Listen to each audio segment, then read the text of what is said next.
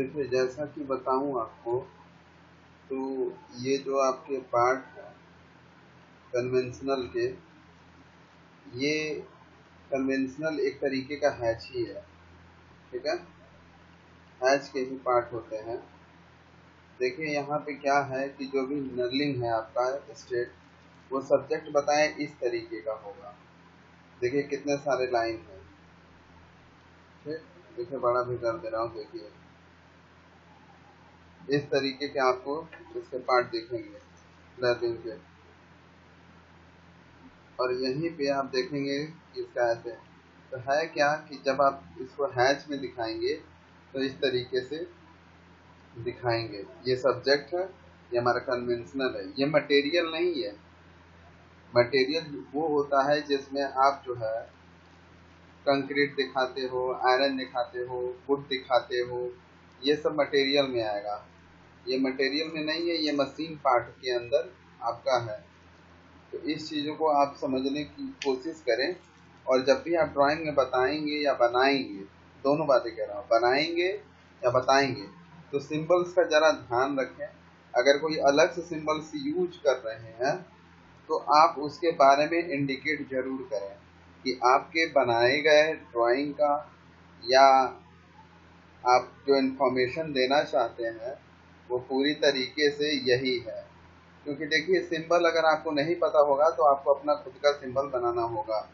ये वहाँ तक चल सकता है जहाँ पे आपका कंपनसेशन नहीं है। लेकिन अगर कंपनसेशन रहेगा तो आपको करना ही करना अब ये ऐसा नहीं कर सकते हैं कि जैसे ये डायमंड वाला है तो डायमंड वाले को आप बना दें स्टेट वाला और कह दें कि ये है हमारा स्टेट लर्निंग ठीक है ना? तो ये नहीं होगा। लमसम का फ़र्क हो सकता है। पूरा पूरा का फ़र्क नहीं हम दे सकते हैं। ठीक?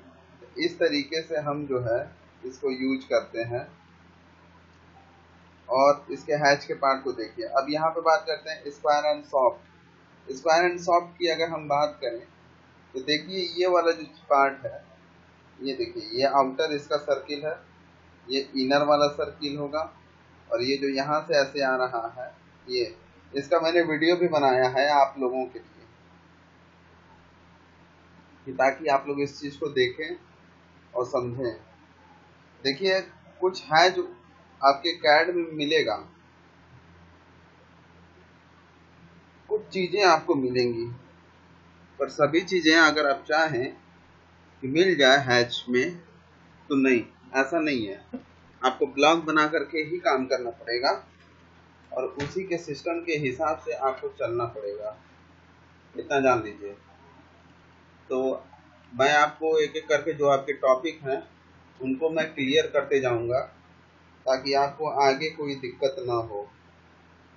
इस तरीके से आप अपने जितने भी मतलब पार्ट होंगे, उस हिसाब से आप जो है, पढ़ लेंगे। तो ये थ्योरी का पार्ट है। इसको आप समझ लें कि किस तरीके से बनाना है। और ये आपको वीडियो पे अवेलेबल भी है। आप देख लीजिएगा। आपको सभी लाइन अलाइन को भी ध्यान रखना है। ताकि जो है, आप अच्छे से अच्छा जो है इसका प्रोस्पेक्टिव व्यू जो होती हैं, उन चीज़ों को आप बना सकें ठीक?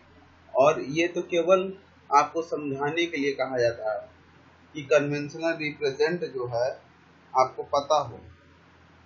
अदरवाइज़ कन्वेंशनल रिप्रेजेंट एक बहुत ही छोटा सा पार्ट है आपके लिए। उससे बड़ा पार्ट अभी आगे बहुत बहुत चीज़ें पड़ी हुई हैं। तो आपका ये जो टॉपिक है conventional representation of machine and component and material ठीक है? तो ये मटेरियल पीछे का हो चुका है और ये जो है आपका मशीन कंपोनेंट है। ये जितने भी हैं, ये कंपोनेंट है, उसको कैसे दिखाते हैं? तो ये जो था, ये पहला वाला था। अब इसी में आपको दूसरा वाला जो टॉपिक है, वो मैं बताता हूँ कि वो किस तरीके से बनता है।